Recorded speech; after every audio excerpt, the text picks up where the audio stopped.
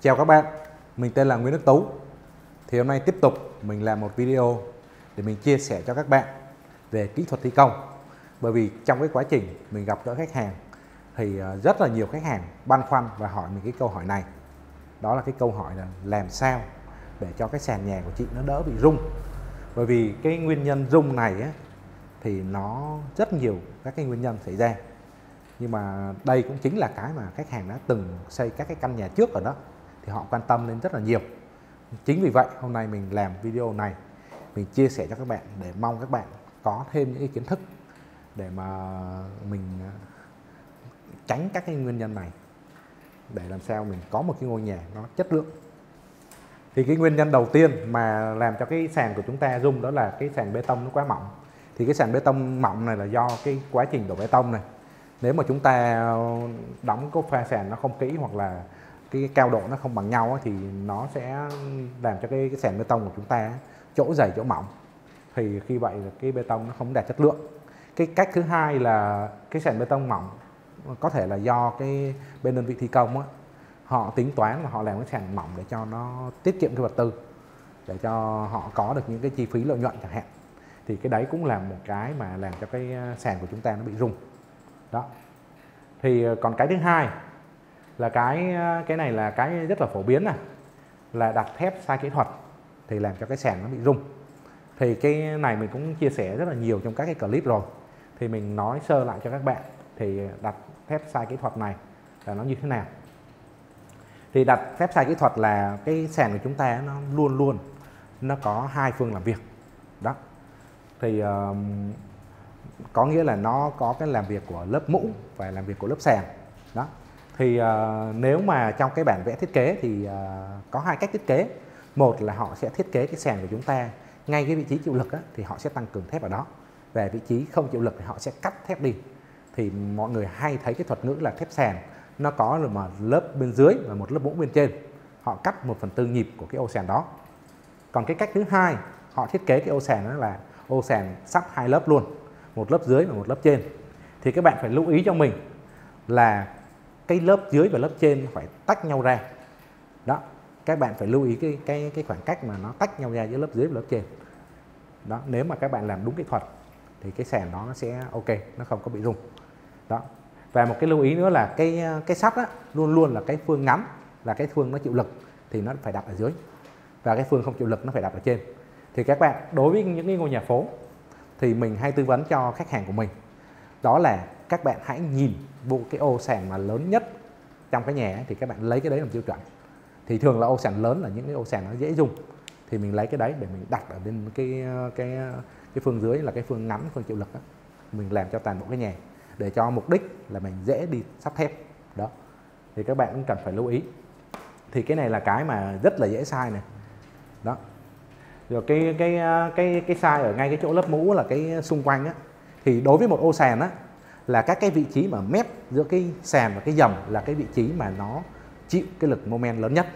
Đó, là nó chịu cái người ta, nếu mà nói về cái ờ, thợ hay nói là nó bị giật sàn là lớn nhất. Đó, nên là cái vị trí đó là cái vị trí mà khi mà chúng ta kê cái lớp bảo vệ giữa hai lớp sắt thì ờ, hay bị kê nó sát quá. Nó sát quá, nó không có đúng kỹ thuật. Thì vô tình, nếu mà chúng ta để hai lớp nó sát quá, thì cái chiều dày làm việc của cái ô sàn của chúng ta nó chỉ làm việc, ví dụ ô sàn 10 phân mà chúng ta chỉ có kê sắt khoảng 5 phân thôi thì nó chỉ làm việc trong cái khoảng 5 phân đấy thôi. Thì nó làm cái ô sàn của chúng ta vô tình chúng ta đổ bê tông 10 phân nhưng mà nó làm việc có 5 phân thôi thì nó làm cho cái sàn của chúng ta bị rung. Rồi một cái nữa mà hay gặp phải trong cái vấn đề sai kỹ thuật đó là sao? Cái lớp sàn ở bên dưới á, chúng ta kê nó quá cao. Thì trong cái tiêu chuẩn á, thì à, chúng ta chỉ cần kê khoảng một phân rưỡi thôi thì nó đủ là cái làm việc của lớp sắt dưới rồi nhưng mà rất là nhiều chủ nhà thích kê cái lớp dưới cho nó cao lên để cho nó nằm ở trong giữa cái bê tông á, giữa cái ổ sàn 10 phân á, nó nằm cao lên khoảng 5 phân luôn. Thì khi mà chúng ta kê cái lớp sàn dưới mà nó cao quá thì thứ nhất nhìn cái ô sàn khi mà tháo sàn ra rất là đẹp nhưng mà cái đấy là cái sai mà dẫn tới giảm cái chiều chiều dày làm việc của cái ô sàn. Đúng ra chúng ta kê một phân rưỡi mà chúng ta kê tới 5 phân á thì cái uh, sắt ấy, nó nằm ở giữa cái trục dung hòa nó nằm giữa cái cái cái cái lớp sàn bê tông á thì nó không có khả năng chịu lực của cái ô sàn 10 phân nữa mà nó chỉ còn chịu lực của cái ô sàn 5 phân thôi. Nên đấy cũng là một cái nguyên nhân làm cho cái ô sàn của chúng ta bị rung thì cái này liên quan về kỹ thuật. Thì uh, cái này là bị cũng rất là nhiều. Đó mình chia sẻ cho các bạn để các bạn lưu ý. Cái này là cái sai nhiều nhất. Đó. Rồi. Thêm một cái sai nữa là cái ô sàn nó quá lớn. Thì các bạn cũng biết rồi, nếu mà cái ô sàn quá lớn, cái ô sàn càng rộng thì cái độ rung của nó càng lớn. Thì nếu mà chúng ta mà thiết kế đúng, thì đối với những ô sàn càng lớn thì chúng ta phải tăng cường thép càng nhiều và cái ô sàn nó phải càng dày lên. Đó.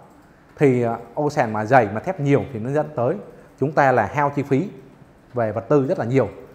Đó, thứ hai là nó tăng cái trọng lượng của ô sàn lên rất là nhiều nên là chúng ta cần phải lưu ý những cái ô sàn lớn này.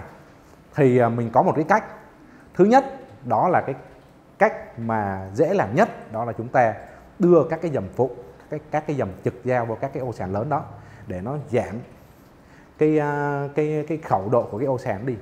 Thì khi chúng ta đưa cái dầm vô thì cái ô sàn nó sẽ chia nhỏ thì nó sẽ làm cho cái ô sàn của chúng ta nó sẽ cứng hơn và chúng ta làm nó tiết kiệm chi phí hơn rất là nhiều.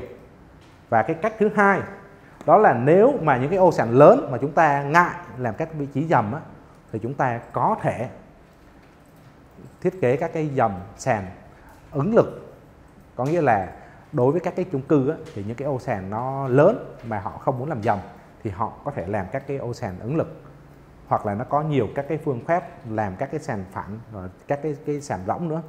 Thì à, đối với nhà phố thì mình khuyên cái cách đơn giản nhất đó là chia các cái dầm trực giao, các cái dầm phụ trong các cái ô sàn đó, thì cái ô sàn của chúng ta sẽ không bị rung nữa. Đó là cái phải lưu ý. Rồi. Cái thứ tư, đó là cái sàn nó hay bị nứt.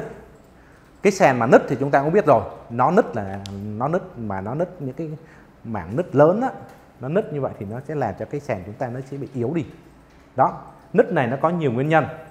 Cái nguyên nhân đầu tiên là trong quá trình đổ bê tông, chúng ta cần phải bảo dưỡng kỹ để làm sao chúng ta tưới nhiều nước cho nó để cho cái sàn bê tông của chúng ta á, nó no nước thì nó mới đủ cái khả năng chịu lực. Nó no nước thì nó mới có nước để nó phát triển cái cường độ. Cái thứ hai là chúng ta cần phải làm sao? Chúng ta phải bảo dưỡng cái cái cái cái sàn đó. Có nghĩa là sao? Khi mà chúng ta đổ bê tông xong rồi trong vòng một ngày ấy, thì chúng ta hạn chế chúng ta đi lại trên đó.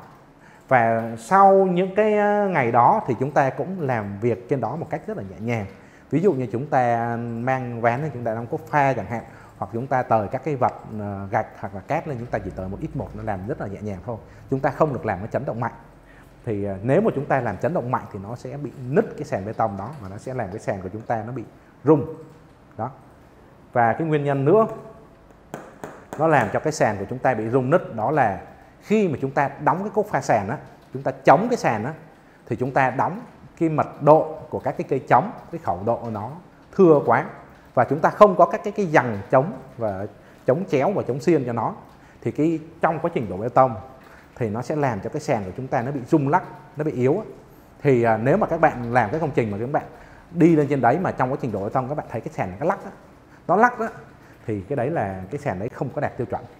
Nên là các bạn cần phải gia cố rất là kỹ cho cái ô sàn này trước khi chúng ta tiến hành đổ bê tông. Đó thì cái sàn bị rung lắc thì nó cũng làm cho cái ờ, bê tông của chúng ta rất là dễ bị nứt, bị đứt gãy. Nên các bạn cần phải lưu ý. Cái vấn đề mà sàn nứt này. Rồi, cái thứ năm mà làm cho cái sàn nó cũng dễ bị rung lắc đó là cái móng yếu. Cái móng yếu là sao? Cái móng yếu là chúng ta thiết kế cái móng nó bị thiếu. Thiếu là sao? Đối với các cái móng cọc mà cái vùng đất yếu chúng ta phải đóng nó đủ cái ờ, cái cái lực để nó đóng cái cọc đấy, phải đủ cái tải của nó có nghĩa là nếu mà chúng ta dùng cái dàn tải 70 tấn thì chúng ta phải đóng hết tải. Đó, thì cái cọc nó biết có đủ cái khả năng, nó chịu lực. Đó, còn nếu chúng ta đóng nửa vời hoặc chúng ta đóng nó bị thiếu cọc thì nó sẽ làm cho cái móng nhà của chúng ta nó yếu. Thì cái móng nhà nó yếu thì nó sẽ làm cho cái sàn nhà của chúng ta nó bị rung lắc mà nhiều khi lắc luôn cả cái nhà chứ không phải lắc cái sàn nữa. Đó, và cái móng yếu này nó cũng có một cái nguyên nhân là cái làm cái móng nó có thể là không có đúng cái liên kết của cái móng cọc hoặc chẳng hạn hoặc chúng ta đào cái móng bị nông quá chẳng hạn, thì nó cũng là một cái nguyên nhân làm cho cái sàn nhà của chúng ta nó bị rung lắc. Hoặc những cái nhà mà nó làm cao quá, mà cái tỷ lệ móng với cái chiều cao của nhà nó không phù hợp thì nó cũng làm cho cái nhà của chúng ta bị rung lắc. Mà đó đó là cái nguyên nhân thứ năm. Nguyên nhân cũng có thể gặp phải. Nên là cái này cần có những người kỹ sư, người ta thiết kế, người ta tính toán ra cho nó phù hợp. Nhá. Thì cái này mình gặp rất là nhiều các công ty mà họ không có tính toán họ làm theo một cái cảm tính thì nó rất là dễ xảy ra hiện tượng này. Đó. Và cái thứ sáu là cái này gặp rất là nhiều ở các cái vùng đất yếu các cái vùng đất mà san lấp các vùng đất mà đầm lầy các vùng đất mà đất bùn. Thì uh, cái cái cái này nó rất là phổ biến này. Đối với cái tốc độ đô thị hóa bây giờ thì các cái vùng đất mà đầm lầy cái vùng đất trồng lúa thì họ san lấp họ phân lô họ bán nền để họ xây nhà họ ở thì cái này xảy ra rất là nhiều. Đặc biệt như là các cái khu vực vùng trũng ở Bình Thạnh các cái vùng trũng ở quận 7 nhà bè Bình Chánh. Rồi các cái vùng trũng ở quận 9 chẳng hạn thì những cái vùng mà đất đặc biệt là yếu. Đất đất yếu thì nó nó có cái hiện tượng xảy ra là như thế này. Khi mà chúng ta thi công cái móng á, chúng ta phải đóng cái cọc rất là sâu. Đó mà cái khi mà cái cọc mà nó đóng sâu quá thì nó sẽ giảm cái khả năng chịu lực của cái cọc đi. Đó nó sẽ giảm cái khả năng chịu lực của cái cọc đi. Thì uh, các bạn biết rồi thì lúc đấy là nó sẽ quay lại cái hiện tượng mà cái móng yếu này. Đó. Và nếu mà chúng ta mà đóng đủ cái khả năng chịu lực của cái cọc đi thì nó cũng có một cái hiện tượng xảy ra đó là nó bị rung rung nguyên cái vùng đất đó đó. Rung là sao? Khi mà chúng ta thấy các cái xe tải lớn các tải trọng lớn mà nó đi qua cái con đường đó thì nó làm cho nguyên cái nhà của chúng ta nó sẽ bị rung lắc bởi vì các bạn biết là ở dưới cái nền nhà của chúng ta đó là một cái túi bùn lỏng. Túi bùn lỏng đấy thì khi mà nó có một cái lực, nó tác động vô thì cái túi bùn đấy bắt đầu nó dao động. Thì cái nhà của chúng ta nằm trên cái túi bùn đó, thì nguyên một cái nhà nó lắc luôn. Đó, thì cái này mình à, đã gặp rất là nhiều các công trình bên quận 7 quận 7 quận 8 gặp rất là nhiều, nó bị rung lắc. Và chính cái rung lắc này nó cũng có thể làm cho các cái sàn nhà hoặc là các cái kết cấu khớp với cột chúng ta nó bị nứt, nó bị rạn ra. Đó còn các cái trần nhà mà nếu mà chúng ta tô các cái trần ấy, nó cũng làm cho các cái trần nhà chúng ta bị rạn nứt ra. Đặc biệt là các cái khu vực mà gần các cái cầu đó. các cái cầu thì là đặc biệt yếu. Các cái khu vực gần bờ sông. Đó. Gần bờ sông gần cầu thì các cái container với các xe tải lớn nó chạy qua nó nó dập dìu trên cái cầu á thì nó làm cho cái cái um, khu vực đấy đất nó rung liên tục. Nên là những cái nhà đấy là đặc biệt yếu nha. Các bạn phải lưu lưu ý. Thì nó có một cái nữa là nó gần các cái đường lớn gần cái đường lớn thì đất nó không có yếu thì nó nhà nó vẫn rung. Bởi vì á, đường lớn là thường là các bạn thấy là những cái xe tải container nó chạy. Ngày đêm mà nó chạy với cường độ rất là rất là dày. Đó và tốc độ họ chạy rất là cao thì nó cũng làm cho cái ngôi nhà chúng ta nó bị rung. Đó. Thì uh, chúng ta thấy rung mà lớn nhất khi mà chúng ta ở trên các cái tầng cao nhất á, thì chúng ta sẽ thấy cái rung đấy nó rõ rệt nhất. Đó. Đó cũng là cái nguyên nhân mà làm cái sàn nhà của chúng ta nó bị rung. Đó. Rồi, ngoài ngoài sáu cái chia sẻ này ra, thì nó còn có một số các yếu tố khách quan là có thể rung là do người nhảy trên đấy chẳng hạn. Giống các cái vũ trường quán bar hoặc là các cái sàn đám cưới, người lên đấy nhảy rất là nhiều thì nó cũng có thể làm cái sàn chúng ta bị rung.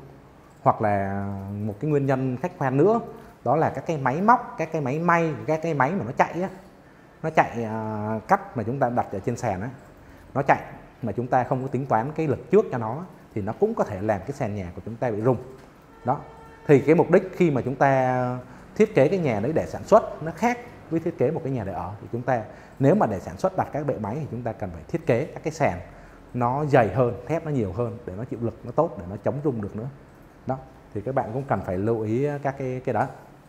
Rồi thì mình vừa giải thích các cái nguyên nhân mà cái sàn bị rung thì cái uh, rung này á, thì uh, nó đã bị rung rồi á thì thường nó phải có cái biện pháp mà xử lý nó. Thì um, mấy cái biện pháp xử lý này thì nó những cái liên quan tới móng thì nó rất là khó xử lý. Thì mình đang uh, chia sẻ cho các bạn cái nguyên nhân mà xử lý các cái sàn bê tông mỏng này mỏng quá này hoặc là cái sàn đặt sai kỹ thuật này hoặc cái ô sàn nó quá lớn này hoặc cái sàn bị nứt này. Bốn cái đầu là mình sẽ chia sẻ cho các bạn cái cách để các bạn khắc phục cái tình trạng rung đó đó, cái cách đầu tiên để khắc phục bốn cái tình trạng rung này, đó là chúng ta lắp thêm các cái bê tông nhẹ để nó tạo thêm cái cái chiều dày cho cái sàn để nó giảm cái độ rung của cái cái sàn đi. Thì cái ưu điểm của nó là nó nhẹ, thi công nó nhanh. Đó, nhưng mà chi phí của nó thì cũng cũng khá là cao. Đó, thì à, khi chúng ta làm cái đấy thì cũng rất là tốt thì nó nó dày khoảng 7 phân rưỡi thôi nó không có chiếm nhiều cái diện tích không gian của chúng ta. Rồi cái cách thứ hai để chúng ta làm bớt cái độ rung này là cái cách truyền thống dễ làm nhất nhưng mà tốn thời gian. Đó là cách chúng ta đục nguyên cái sàn đấy tới cái lớp bê tông. Chúng ta vệ sinh sạch sẽ tạo nhám cho cái lớp bê tông đó. Và chúng ta đổ các cái các cái gọi là cái cái cái, cái silica liên kết giữa bê tông cũ và bê tông mới. Rồi chúng ta đan sắt chúng ta đổ cho một lớp bê tông mới nữa. Khoảng 5 tới 7 phần lên cái lớp sàn bê tông cũ mà bị rung lắc đó đó. Đó, khi chúng ta đổ xong bê tông thì chúng ta vẫn lót gạch lại bình thường. Thì cái cách này nó tốn thời gian và tốn ờ, tốn công của chúng ta. Thì chúng ta cũng cần phải lưu ý. Cách này là dễ làm nhất và hầu như là ai cũng có thể làm được. Đó. Và cái cách cuối cùng, đó là cái cách rất là mới mà rất là ít người áp dụng đó là chúng ta uh, dán thêm các cái lớp carbon gọi là các cái cái cái cái lưới gia cường đó, dán lên trên trên cái mặt sàn bê tông đó. Thì chúng ta cũng phải đục tới cái bê tông đó chúng ta vệ sinh sạch và chúng ta dùng các cái phụ gia ELC những cái phụ gia liên kết đó, để chúng ta dán các cái cái lưới ờ, lưới ờ, carbon đấy lại. Thì cái lưới carbon đấy nó có cái ưu điểm là nó không mất cái không gian của chúng ta nó rất là nhẹ hiệu quả nó rất là cao, nó chống rung rất là tốt, nhưng mà cái nhược điểm của nó là cái giá thành nó rất là cao. Đó đó là ba cái cách mà chúng ta có thể khắc phục được bốn cái cái này. Đó. Còn hai cái cái hai cái dưới này thì, cái đấy thì cũng có thể khắc phục được nhưng mà nó rất là khó, thì mình không có chia sẻ ở đây. Thì mình vừa chia sẻ cho các bạn là các cái nguyên nhân mà cái sàn bị rung nên các bạn phải lưu ý là những cái này là cái mà chúng ta có thể xử lý được. Thì ờ, mình đã chia sẻ với các bạn rồi thì bốn cái đầu là các bạn cũng cực kỳ phải kỹ để làm sao cái ngôi nhà của chúng ta nó đạt được cái chất lượng. Đó, nếu mà xây những cái ngôi nhà mà chúng ta tốn rất là nhiều tiền mà nó không có đạt cái chất lượng và nó xảy ra các cái sự cố này thì chúng ta rất là phí tiền và nó rất là mệt. Bởi vì khi mà chúng ta xây cái ngôi nhà xong thì ờ, chúng ta không thể đập phá nó đi để chúng ta hay được.